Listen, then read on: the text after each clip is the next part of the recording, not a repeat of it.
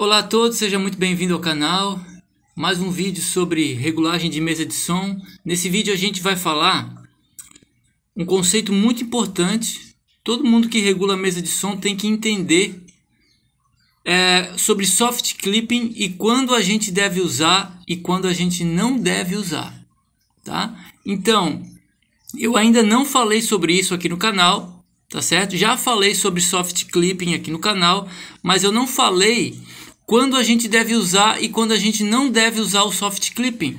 Existem casos que a gente deve usar e existem casos que a gente não deve usar. E talvez essa informação seja inédita na internet, tá? Ou talvez não. Certo? Então cola nesse vídeo, você que é iniciante, você que é amador, você que é profissional também você que é produtor musical, você que precisa regular uma mesa de som, você que é músico, um músico de barzinho, ou você que é um operador de som, né? Pessoal aí da igreja, cola nesse vídeo porque o que eu vou te falar aqui é muito importante para que nós tenhamos a melhor qualidade de som, que é quando nós temos que usar o soft clipping e quando nós não te, não temos que usar o soft clipping. Existem situações que nós usamos e existem situações que nós não usamos. Isso serve para toda mesa de som, tá? Toda e qualquer mesa de som uh, analógica, tá certo?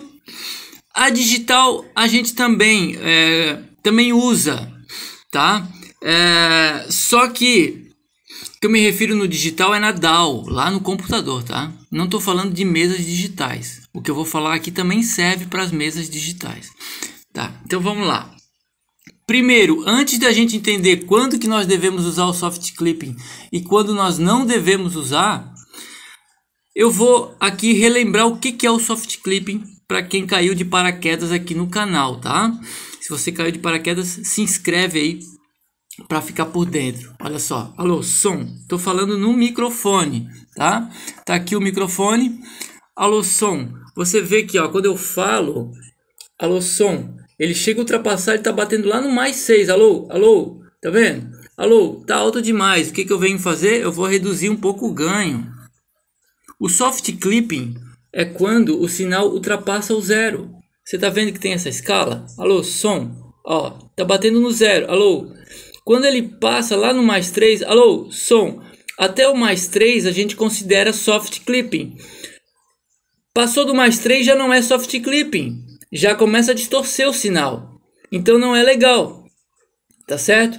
Agora, quando nós, te, quando nós temos um áudio de um microfone, de um microfone, de um contrabaixo, uh, de um microfone, de um contrabaixo, de um violão elétrico, é, nós temos que fazer um pouco de soft clipping e também temos que comprimir o áudio.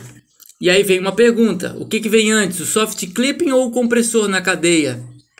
Isso é uma pergunta que eu vou responder em outro vídeo, por isso que é importante. Se você não é inscrito, se inscreve. Se é inscrito, se inscreve. Se inscreveu, continua se inscrevendo, porque no outro vídeo eu vou falar o que, que vem primeiro na cadeia do áudio, o soft clipping ou o compressor. Você sabe me responder isso? Se você sabe, responde aqui embaixo para a galera, tá? Isso é assunto para outro vídeo. Alô, som, alô, som. Então aí, ó, o soft clipping tá batendo lá no mais 3. Para que, que serve o soft clipping? Ele ajuda a gente a, a nivelar o, os picos, né, do microfone, porque o microfone ele tem muita dinâmica. Chegou a bater no mais 6 lá, tá vendo? Não pode bater no mais 6. É no máximo no mais 3. Alô, som. Então, como é que eu fiz isso aqui? Aí você, o importante é você é, ver meus outros vídeos sobre regulagem de mesa de som, que eu ensino mais devagar, passo a passo, não, não saio falando assim tão rápido. Colocar o fader do canal no zero, tá lá o zero, ó. Coloquei o fader do canal no zero. Se você tem a tecla PFL, aí você clica PFL e o do canal pode estar em qualquer lugar. Como essa mesa não tem o PFL, a gente tem que colocar obrigatoriamente o fader do canal no zero. E o fader da master também sempre no zero. E aí eu vou ter acesso a esse monitor até o canal que eu estou regulando. Os outros canais eu deixo com os faders fechados. Vou regulando o ganho até que os picos comecem a bater no 0 dB. e ultrapassando um pouquinho o 0 dB, que é chamado de soft clipping, que é quando o sinal ultrapassa o zero, ou seja, ultrapassa o teto da impedância da mesa. A gente só usa soft clipping quando estamos regulando um microfone, um contrabaixo plugado direto em linha, um violão elétrico plugado direto em linha. Mas agora que vem o assunto principal desse vídeo. A gente não usa soft clipping quando a gente bota um MP3 para tocar, por exemplo, tá? Então, no caso dessa mesa aqui, ela toca aqui, ó. Ela toca MP3, digital MP3 player. Se eu boto um MP3 para tocar, esse MP3 ele vai ser enviado aqui para esse canal, tá?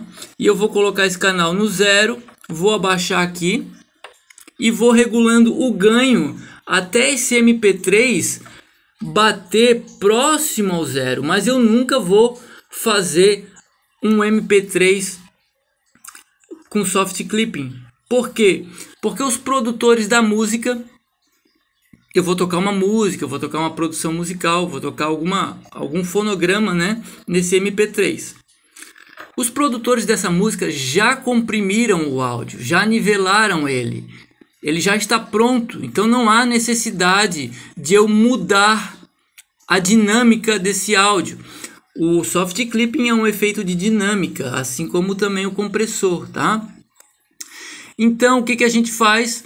A gente vai aumentando o ganho até que esse áudio MP3 comece a bater próximo ao zero. Os picos comecem a bater quase no zero aí sim eu vou estar regulando o ganho corretamente para um MP3. O microfone já é o contrário. Baixo o fader do MP3, aumento o fader do microfone e regulo até que ele ultrapasse um pouco o zero, fazendo um soft clipping. Isso vai ajudar a nivelar a, a dinâmica do áudio do microfone, porque o microfone ele tem muita dinâmica, ele tem uns picos, uns socos que não são agradáveis ao ouvido. Então a gente usa o soft clipping e usa também o compressor. Essa mesa aqui é uma mesa mais simples, ela não tem compressor. Mesas mais sofisticadas têm um compressor também, mas é assunto para outro vídeo, tá?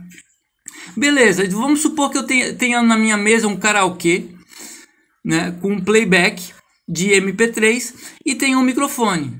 Regulei as duas coisas da forma como eu acabei de falar. Quando eu coloco os dois no zero, o que, que vai acontecer com a master? Ela vai ultrapassar, ela vai fazer um summing, ela vai somar a potência desses dois canais, que é um do microfone e o outro do MP3. Então, o que, que vai acontecer com o meu medidor de VU aqui? Ele vai começar a bater lá no mais 6 ou até mais. Então nisso eu vou fazer o que? Vou fazer a mixagem com os faders, vou ajustar o nível com os faders, vou abaixar os dois até que esse master comece a abaixar e batendo no zero, tá? Ah, veja bem, e aí, ah, mas o volume do playback está mais alto do que o microfone ou vice-versa. Então eu vou ajustar os dois para que fique cada um na presença desejada.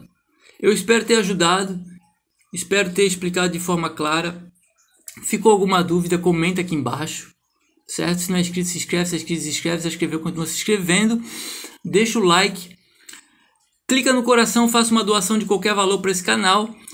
Se não aparecer o coração, tem os três pontinhos em algum lugar aqui da tela. Clica ali que o coração escrito valeu vai aparecer. Faça uma doação para ajudar a manter esse canal produ produzindo de forma gratuita.